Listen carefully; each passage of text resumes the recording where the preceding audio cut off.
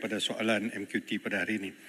Saya ingin mendapat penjelasan secara tuntas dan juga secara jelas daripada pihak kerajaan impak daripada kenaikan SST yang dikuatkuasakan satu Mac yang lalu.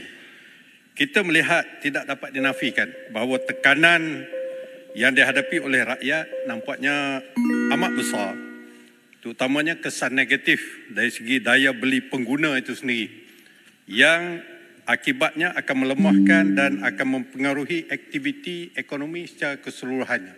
Jadi apakah formula yang hendak diberikan, nak dibuat oleh uh, kerajaan untuk uh, mengekang kesan rantaian ekonomi secara umum yang dihadapi. Bagi contohnya pada bulan puasa ini sendiri, rungutan yang amat ketara daripada peniaga-peniaga bazar Ramadan. Yang mereka bukan saja kerugian tetapi malahan tidak dapat mem- me- apa ni membayar kos uh, modal kos sewa itu sendiri pun belum dapat. Ni kesan daripada yang dapat dilihat di hadapan mata kita sendiri. Semua penjelasan yang tuntas daripada yang maklumat terima kasih.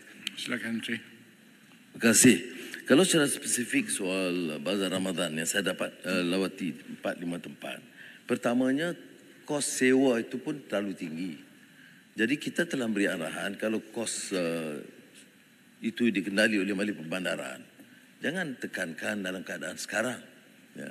Kemudian, di sebahagian pada uh, Mali Perbandaran, itu diberikan kepada ejen-ejen. Jadi akhirnya, uh, penyewa tidak sewa secara langsung dari Meli Perbandaran. Jadi kos meningkat.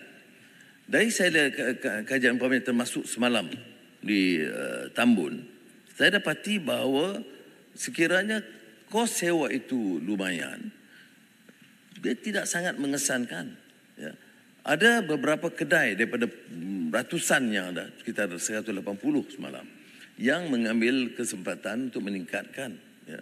Tetapi uh, saya akui ada impak kecil kenaikan harga, tetapi saya tidak fikir oleh kerana SST itu menyebabkan tingkat naik.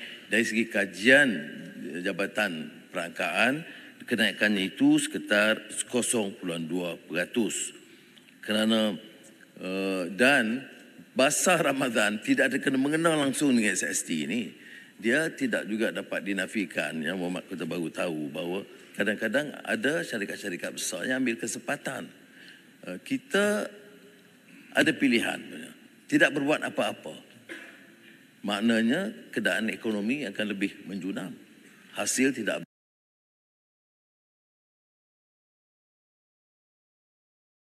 bertambah.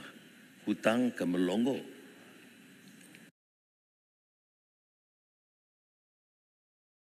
Kita terpaksa ambil tindakan. Apa-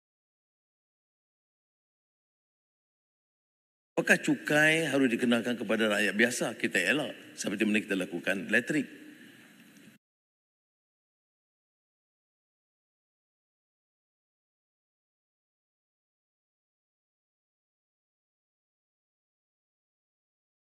SST itu kita bagi pengecualian dengan maksud tidak mengenakan uh, kes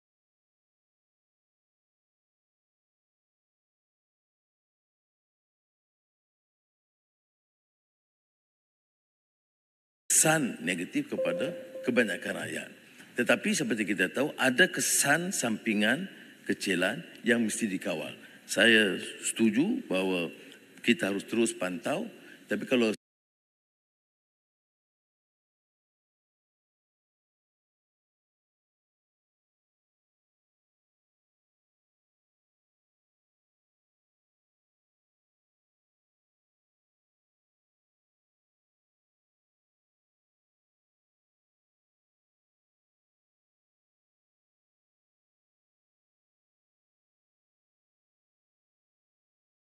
secara khusus perniagaan masa uh, bazar Ramadan ini kebanyakan yang mengeluh ialah kerana kadar sewa yang tinggi dan pada pendapat saya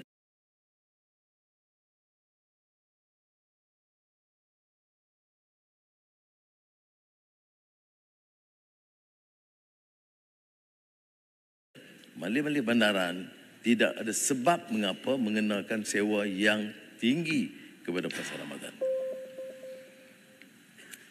Baik, saya jemput uh, Datuk Wira Dr. Ku Abdul Rahman bin Ku Ismail Kubang Pasu.